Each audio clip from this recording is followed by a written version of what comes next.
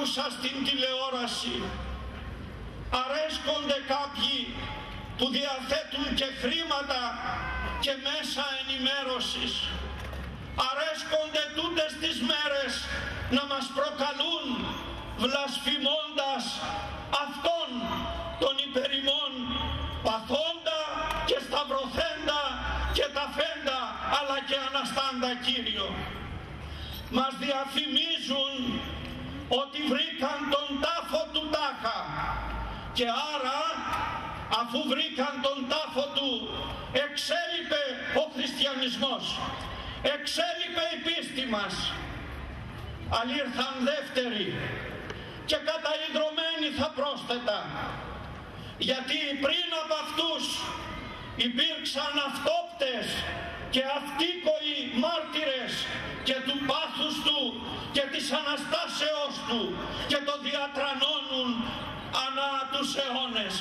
Δυο χιλιάδες χρόνια τώρα και φτάνει ο Απόστολός μας να λέει γράφοντας τους προπάτορες μας «Ή Χριστός ου και γίγερτε και νόν το κήρυγμα ημών, ματέα η πίστη ημών, αν δεν έχει αναστηθεί ο Χριστός όσα και να πούμε ό,τι και να κάνουμε είναι μάταια είναι άδεια. Δεν γεμίζουν καρδιές δεν εμπνέουν ανθρώπους δεν τους κατευθύνουν σε νομές σωτηρίας αλλά και ελευθερίας και σωστής διαβίωσης.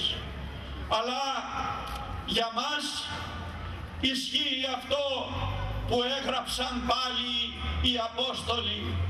Κηρύσσομεν Ιησούν Χριστόν εξταυρωμένον και αναστάντα και τον κηρύσσομαι γιατί γιατί είδον οι οφθαλμοί ημών τα ότα ήκουσαν και χείρες ημών εψηλάφισαν λέει ο Ευαγγελιστής της αγάπης.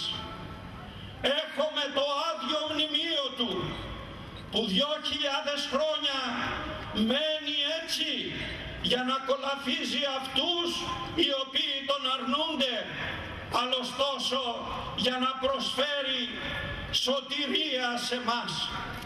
Δεν ήρθε να αντιπαλέσει με κανέναν ο Χριστός. Δεν ήρθε να δημιουργήσει πολιτικά, κοινωνικά, οικονομικά, φιλοσοφικά και άλλα συστήματα. Ήρθε και έφτασε εδώ που έφτασε για μας τους ανθρώπους. Γι' αυτό λοιπόν χαίρομαι που είμαι επιμενάρχης ενός τέτοιου λαού ευλογημένου που παρά τις πτώσεις μας από τον επίσκοπο μέχρι και τον τελευταίο μπορούμε κάποτε να μετανοούμε μπορούμε κάποτε να ανορθωνόμαστε μπορούμε κάποτε να δείχνουμε ότι είμαστε Έλληνες και χριστιανοί ορθόδοξοι. Και όταν αυτό το δείχνουμε τότε δεν φοβόμαστε κανέναν όσο δυνατός και να είναι όσα χρήματα και να έχει όσα και να μαζέψει ό,τι και να πει όσο και να μας απειλήσει δεν φοβόμαστε κανένα.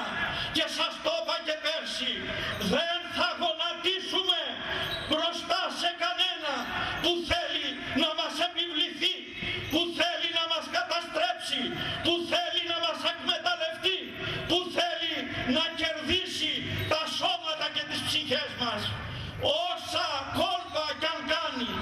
δεν θα καταφέρει κανείς μπροστά στον εσταυρωμένο Ιησού τον Αναστάντα όμως να σταθεί.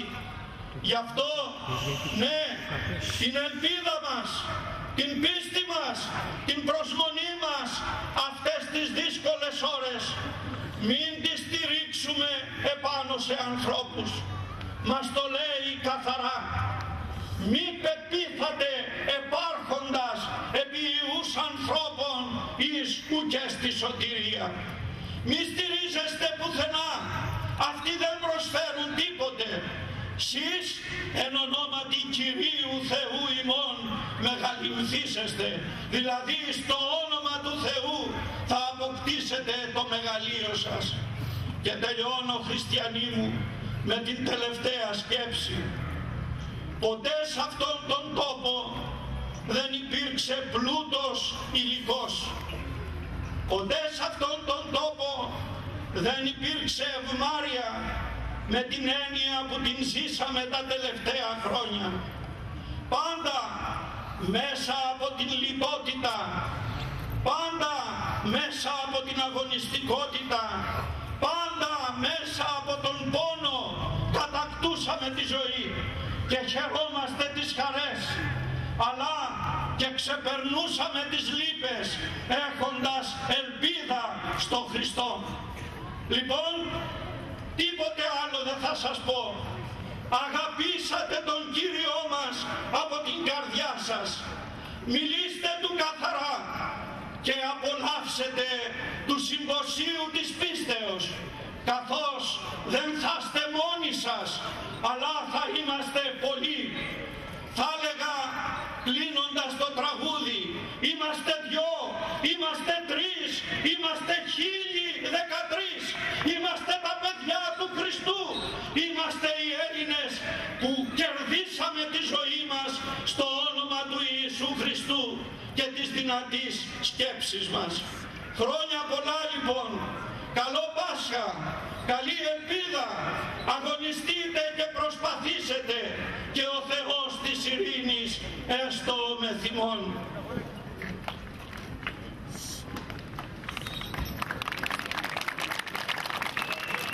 Ζήτω! Το χειροκρότημα είναι να τα βάλουμε στην καρδιά μας.